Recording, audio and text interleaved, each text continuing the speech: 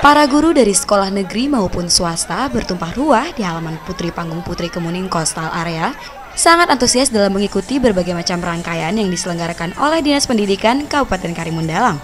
Sebanyak 250 guru melakukan gerak jalan dengan berbagai macam door prize. Tur disajikan tarian Zapin yang berkolaborasi dengan Senam Sehat.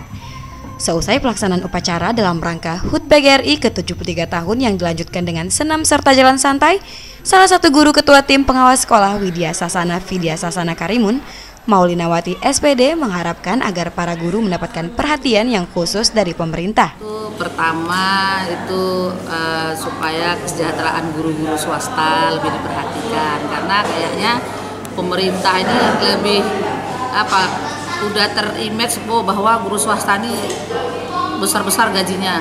Padahal salah itu dulu kalau sekarang yang lebih makmur tuh guru negeri jadi diharapkan guru swasta itu lebih diperhatikan dengan pelaksanaan HUT PGRI yang ke-73 tahun Diharapkan para guru ikut serta dalam memperjuangkan Negara Kesatuan Republik Indonesia atau NKRI, serta dapat berperan penting dalam melawan kebodohan serta keterbelakangan sekaligus dalam berjuang untuk harkat dan martabat guru, khususnya di wilayah Kabupaten Karimun. Dari Tanjung Balai Karimun, Kepulauan Riau, Aziz Maulana melaporkan.